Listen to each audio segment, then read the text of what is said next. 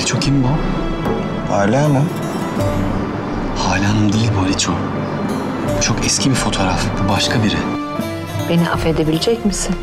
İşte o an anladım ki İdris Koçovalı Melih Hanım için ne kadar önemliyse Melih Hanım da İdris Koçovalı için o kadar önemli.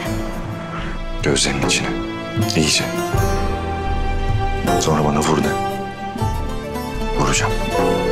Legea familiei, de luni până vineri de la ora 23, numai la Happy.